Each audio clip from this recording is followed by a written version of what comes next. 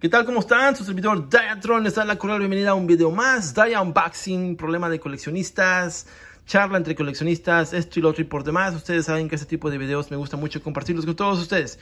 En esta ocasión vamos a hacer el unboxing de esta figura. Esta caja tiene ya como dos semanas que llegó y recién tuve la oportunidad de abrirla. Yo la abrí un poquito simplemente para remover el, el shipping label que contiene mis datos personales, claro está. En esta caja contiene una figura muy buscada por los coleccionistas adultos. No es el santo grial, no para mí, pero e-, era una figura en la cual yo estaba buscando por muchos años y simplemente no se me hacía eh, debido al, al, alto costo que contienen estas figuras. Y bien, so, entonces esta figura salió a principios de la década de los 2000, a principios de los años 2000. En ese entonces no era de primera necesidad tener internet en casa, servicio de internet en casa. Yo no tenía servicio de internet en casa a principios de los 2000. So, yo desconocía de la existencia de esta figura hasta años después que me di cuenta que esta figura existía. Y desde ahí para acá la he estado buscando. So, ya tiene que más de 10 años, menos de 10 años que he estado buscando esta figura. No lo sé, pero tiene mucho tiempo que he estado buscando esta figura. Bien, rápidamente Hi, mami. Vean nada más. Qué chulada. Qué brutalidad de figura. Una figura muy imponente. Vean nada más qué belleza. Hay dos razones por las cuales esta figura es muy buscada por los coleccionistas adultos. Número uno, esta es la primera figura que abrió la línea Masterpiece. Número dos, bueno, siguiendo el número uno. Eh, es la figura de Optimus Prime jamás creada bajo la línea Masterpiece. Ahora, ahora sí, número 2. ¿Por qué es tan buscada esta figura? ¿Ya lo notaron? ¿No lo notan? Bueno, dejen, hago para acá la cámara. Ahí está. ¿Ya lo notaron? Díganme que sí lo notaron. Bueno, y si no, acá está el porqué. La segunda razón por la cual esta figura es muy buscada es por como pueden ver, este es el antiguo logo de Takara. Así es, el antiguo logo de Takara. Lo cual te indica que esta es la figura que se fabricó en la primera tirada por parte de la línea Masterpiece. Años después eh, lanzaron una reedición de esta misma figura con el nuevo logo de Takara. Y también en ese entonces también hicieron una edición para, uh, para venta en este nuevo continente, la, la versión de Hasbro, el cual la figura posee unos colores diferentes a la de Takara y los accesorios, especialmente el arma, es, está pintada de diferente forma que la de Takara.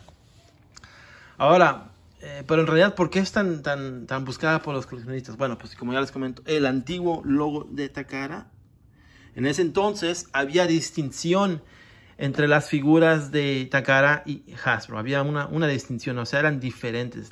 Ustedes saben que Takara solía pintar de mejor manera sus figuras, otorgarles mejor calidad de plástico, más accesorios, etcétera, etcétera, etcétera. Bueno, entonces, Takara en ese entonces tenía su mayor, eh, ¿cómo le podemos decir? Su mayor competencia en la fabricación de figuras de esta índole, que esa compañía se llamaba Tommy. Entonces, Takara quiso absorber a Tommy, no llegaron a ningún acuerdo. Eh, solo que se hizo fue unir a las dos uh, compañías y es por eso que tenemos el nuevo logo de Takara, que sería este de acá.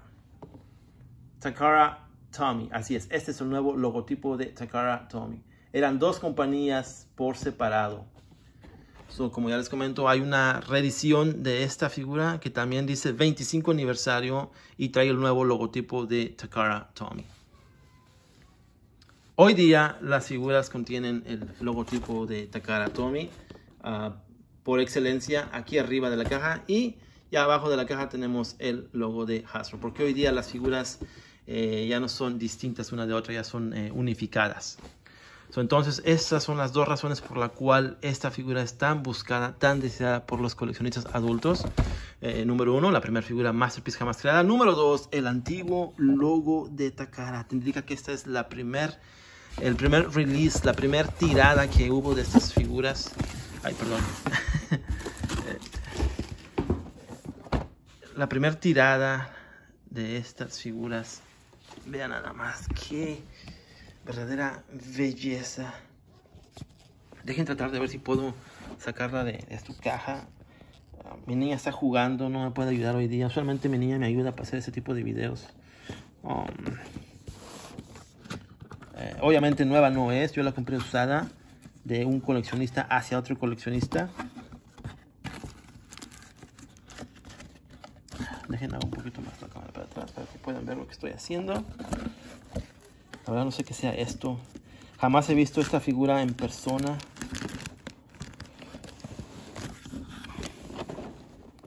Esta es la primera vez que veo esta figura en persona.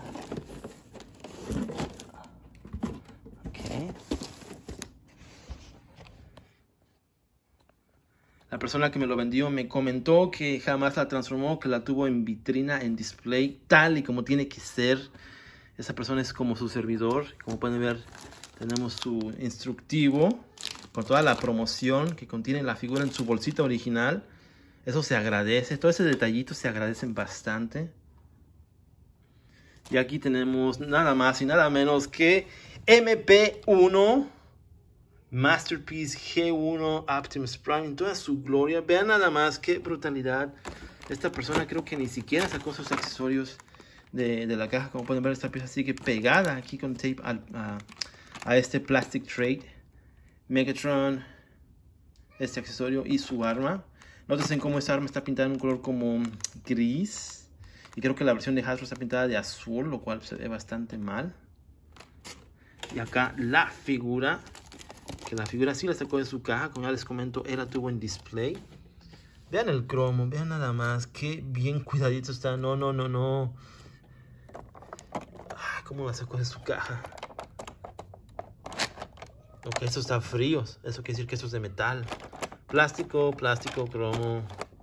Esto está frío, quiere decir que esto es de metal. Les digo que yo jamás he visto esta figura eh, en persona. Eh, creo que jamás he visto una revisión de este molde. No sé exactamente. Eso está frío. No, eso es plástico. todas estas piezas de acá son de metal porque están frías. Y esta pieza de acá es de metal que también está frío. Voy a ocupar alguien que me ayude para sacarla.